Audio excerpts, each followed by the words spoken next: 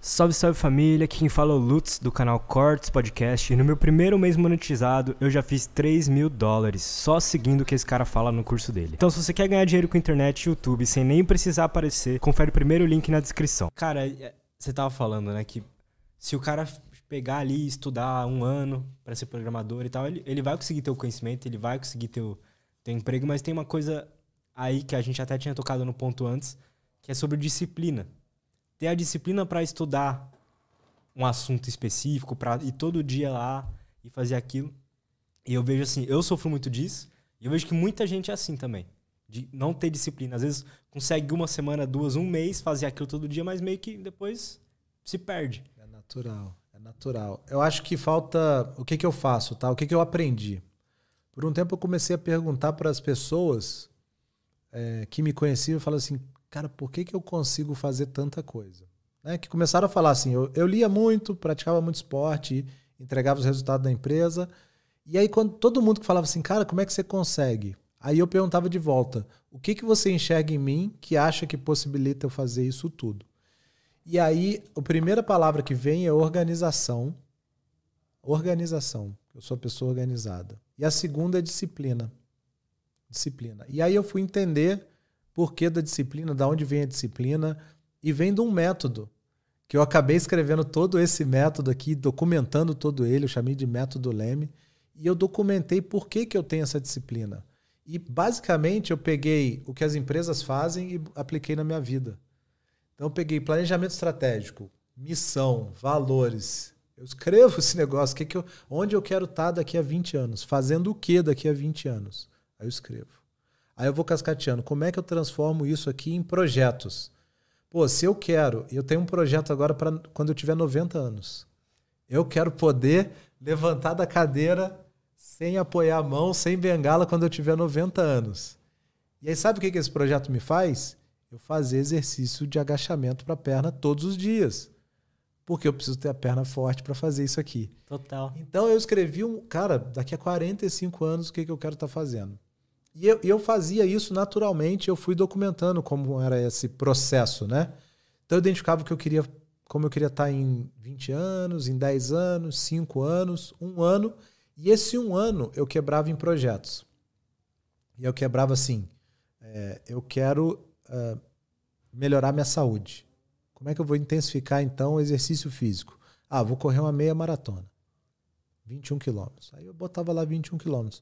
Só de eu botar isso que nos, nesses 12 meses, saúde te, tá lá nos 20 anos, conseguir continuar levantando uhum. e tal, mas nesses 12 meses está a corrida. Então, para eu conseguir correr uma meia maratona na, nos próximos 12 meses, vai ter musculação, alimentação, sono de qualidade, vai ter tudo isso, treino. Então, eu ia colocando essas coisas e executando. Então, e eu não é esqueci. enxergar essas coisinhas como projetinhos. Projetinho. Mesmo, né? É conseguir. Mas o que me mantinha, o que me mantém executando isso e não desistir de ir no treino segunda de manhã às seis da manhã, é saber que como eu quero estar daqui a 20 anos. Eu tenho que conectar o que eu estou fazendo hoje com minha missão, meus valores, igual uma empresa faz. Então, se eu não tiver aí aquele o seu porquê, né, o seu propósito, é tudo a mesma coisa onde você quer estar daqui a 20 anos e o que, que eu tenho que fazer na segunda-feira de manhã para chegar lá. Se eu não conseguir ver essa conexão, eu falo assim: ah, hoje eu não vou, não. ah, para que eu vou ver a contabilidade agora e tal? Aí depois estoura uma bomba, sua empresa quebra porque você não olhou, o contador não estava pagando os impostos. Entendeu? Então você tem que. Eu quero ter uma empresa para, sei lá, vender no futuro isso aqui, virar uma grande marca e tal. Então você tem que ter a contabilidade em dia. Por isso que você está. Daqui a 10 anos eu quero vender o podcast para um grupo que tem um monte de podcast. Quero vender uma participação para eles. Beleza, os caras vão olhar meus números. Então eu tenho que cuidar de todos os impostos, questões trabalhistas hoje. Porque lá na frente isso pode impedir a minha, minha venda da empresa. Se você não conecta esse longo prazo por com o porquê você está tendo a reunião com o contador hoje, você não faz a reunião. Você fala, cara, pois faz, isso não afeta nada meu dia a dia. Então, acho que é muito de trazer isso do longo prazo, conectando com o que fazer agora, entendeu? Seu sonho, sua missão para o hoje. E aí, eu, e aí eu fui descrevendo o que, que tem que fazer, como você transforma isso em projetinhos, em metas e como acompanhar no dia a dia, né? Aí cai numa agenda, listinha de tarefas e tal. Cara, É que, beleza, você falou, ah, cai numa agenda, uma listinha de tarefas, mas isso é uma coisa que a, a minoria das pessoas fazem, né? Ah, sim, sem dúvida. Sem dúvida. Eu tenho a minha agenda, eu tenho minha listinha de tarefas, mas, as- tipo assim, tem dias que eu não, não- nem abro, sabe? Não sei, eu acho que tem, é, tem que ter uma coisa que meio que tá sempre relembrando, né? Você costuma relembrar sempre o seu porquê. Eu, eu, eu costumo, cara. Principalmente nesse final de ano, eu tenho que jogar um ano pra frente, né? Acabou um ano, então eu falo assim, os próximos 20 anos. Agora eu já vou estar pensando quando eu tiver 65 anos. O ano passado foi 64. Então, esse exercício de um ano pra frente, um ano pra frente, um ano pra frente. Então, então, essa época é perfeita. Dezembro é perfeito. Que aí você pode sentar com a, e divida com a família, divida com quem você gosta é, esses sonhos, esses planos. Aí você divide, pô, como é que eu quero estar? E eu tenho uma listinha no Excel. Eu escrevo lá. E só de escrever lá, a gente registra no nosso. Você teve um monte de conversa com neurocientista e tal, e eles podem explicar melhor do que eu. Mas você registra na sua mente e você começa a enxergar aquilo ali. Você começa a ter foco para direcionar suas energias naquilo ali. Vou dar um exemplo. Quando você engravida com a esposa e tal, aparece um universo paralelo dos bebês, cara, de roupinha de bebê. Então você fala assim, cara, como que isso existia? Como que essa loja aqui de roupa infantil tá aqui? Eu passo há 10 anos aqui, eu nunca tinha visto. Então é meio essa é a questão do foco, entendeu? Quando você, Aham. cara, tem um, vai nascer daqui a nove meses, vai ter que ter roupa essa criança. E aí você começa a ver loja de roupa de criança que Cara, isso é o total. foco, isso, é o poder do muito. foco, isso é o poder do foco. Você começa a trabalhar numa empresa que seja de varejo grande e tal, você começa a ver tudo daquela empresa. Você começa a fazer o podcast aqui, cara, apareceu um monte de podcast na sua vida, entendeu? Então, tudo que você escreve, o que vai fazer, o que vai acontecer, você, você direciona a sua energia. Então, a primeira coisa é, faz lista mesmo. Quero trocar o sofá da sala, quero botar um ar-condicionado no quarto. Escreve tudo, pequeno ou grande, faz, eu chamo de lista mestra, de tudo que eu quero para os próximos 20 anos. Tem coisa que. é- Aí depois eu escolho. Ah, isso dá para fazer esse ano. Ah, morar ainda num outro país. Cara, não dá. Eu quero levar minha carreira aqui ainda. Então não vai ser agora. Então você vai estar lá muito mais perto dos 65 do que agora. Então você vai, aí você vai separando e fala, beleza, eu já sei o que eu quero fazer ano que vem. E aí você vem para a agenda, né? Tá, se eu quero fazer ano que vem, por exemplo, o aprender inglês. Aham. Tá bom. Qual horário do dia eu vou aprender inglês?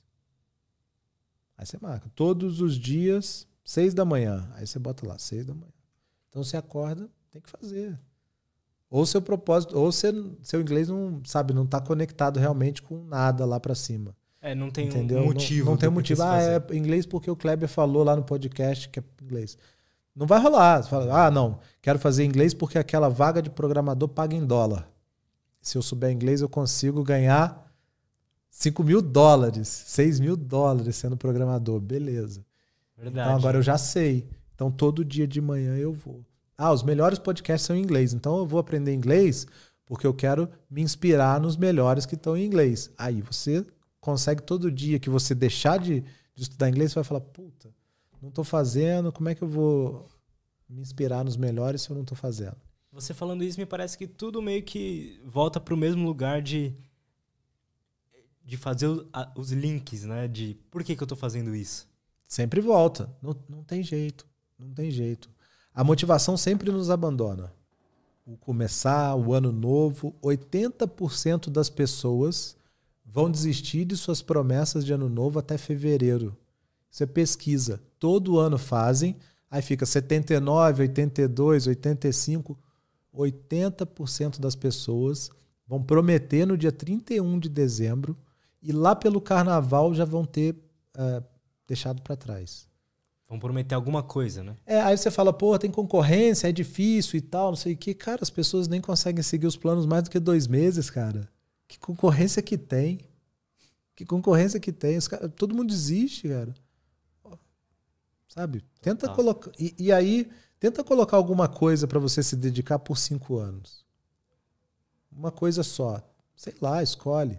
Ah, vou sair do, do zero, vou me dedicar ao judô, jiu-jitsu. Cinco anos. Todos os dias vai ter lá uma hora e meia de treino. Vai ver onde você vai chegar, como é que você vai ficar.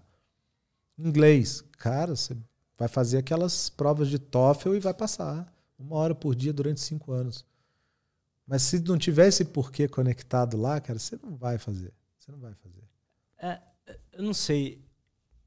Eu sinto que eu, eu tô bem melhor nisso ultimamente, de enxergar um pouco do, do futuro, uhum. né? Tentar, ah, como é que eu quero estar daqui a cinco anos e tal. Mas acho que não passa pela nossa cabeça isso. Não sei, parece que tipo assim, ah, sei lá, nem existe daqui cinco anos, sabe? É longe, né? É longe. É, é longe. É um exercício de abstração, né? Porque. E, e, pode estar errado, mas eu acho que o exercício por si só é que vale. É você. Tudo isso que a gente está vendo aqui, antes foi criado na imaginação de alguém, né? Então, esse microfone, essa garrafinha d'água, a caneta, o celular, foi. Teve que usar a criatividade.